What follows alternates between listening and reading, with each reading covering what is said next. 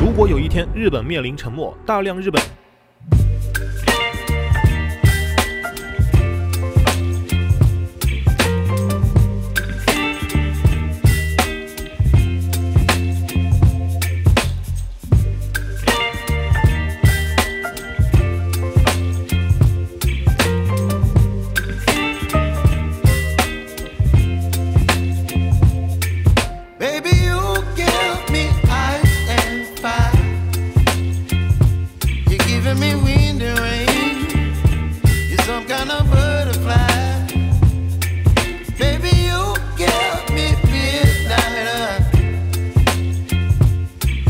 my appetite.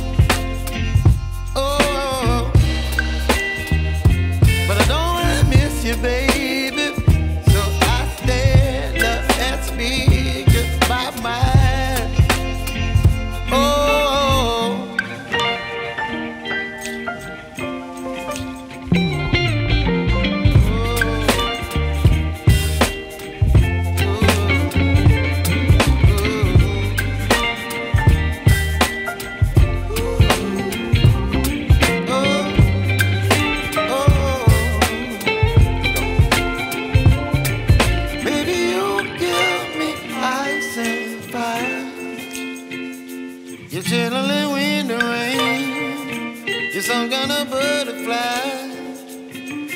Baby, you give me midnight.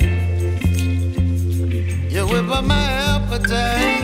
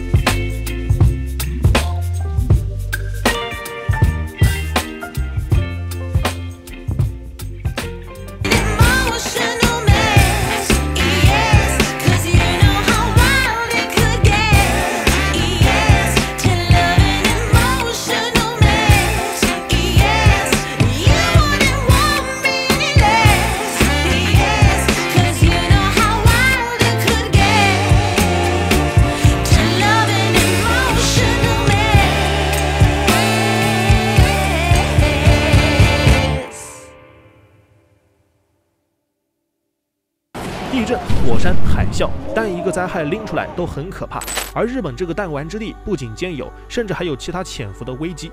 日本属于温带海洋性季风气候，温和湿润且多雨，因此一到夏季，雨多风大，暴雨、飓风与泥石流几乎都是作伴一样席卷而来。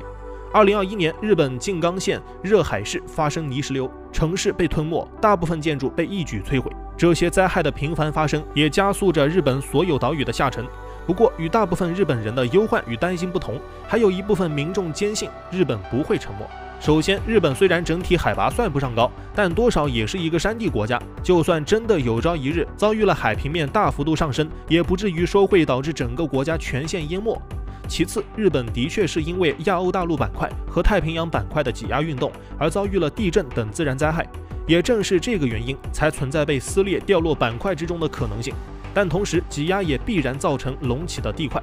这样，到时候如果有一部分国土掉进海沟，日本也还能从新隆起的部分里组建另一半日本。旧的不去，新的不来嘛。只是不知那时的日本可否习惯这新的国土。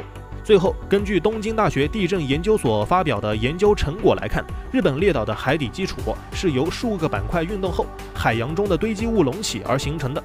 如果板块不改变运动，那日本列岛就不可能沉没。退一万步来说，就算板块的运动改变了，也需要等上一百万年才能到日本列岛沉没那天。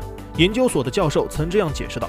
或者说，就算在下沉，日本所有岛屿或者大部分岛屿完全沉没的可能性也很小。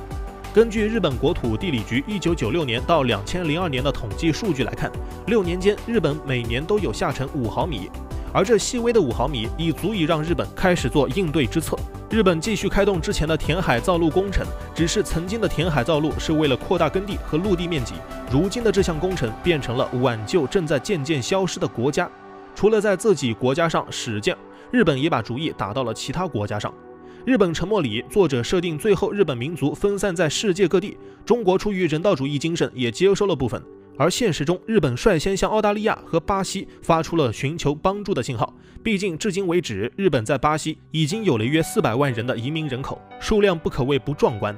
只是，如果真如剧版《日本沉没》中日本政府的打算，移民中国一千万人，在中国建五个日本城，以方便两国政府管理的话，就不知道日本有没有想过，哪个国家能容忍一个四散分裂、寄居他国的国家指手画脚呢？在当今时代，日本要考虑的显然不止火山地震频发后面临沉没危险的国家如何自救了，更多怕是还有做足友好睦邻、打好和周边国家的关系，才不至于真的到了那天落到只能依靠利益来交换的地步。知识 TNT，专注你不知道的食物科普，我们下期再见。